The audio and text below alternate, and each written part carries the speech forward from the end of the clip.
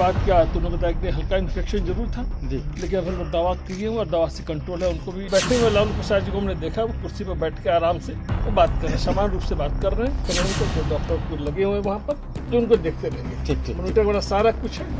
RJD supremo Lalu Prasad Yadav की तबीयत गुरुवार की शाम अचानक से बिगड़ गई। लालू यादव को सांस लेने में तकलीफ़ हो रही थी जिसके बाद डॉक्टरों ने उनका देर रात तक चेकअप किया।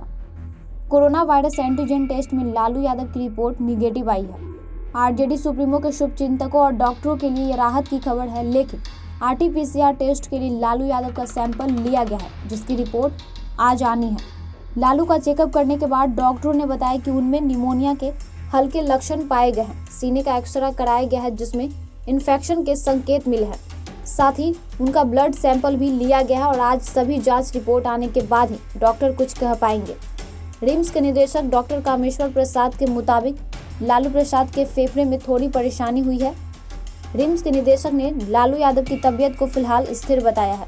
आपको बता दें कि लालू की तबीयत खराब होने की जानकारी जैसे ही नेता प्रतिपक्ष तेजस्वी यादव के पास पहुँची तो उन्होंने तत्काल झारखंड के स्वास्थ्य मंत्री बन्ना गुप्ता को इसकी जानकारी दी, जिसके बाद बन्ना गुप्ता खुद गुरुवार की देर शाम रिम्स पहुँचे थे।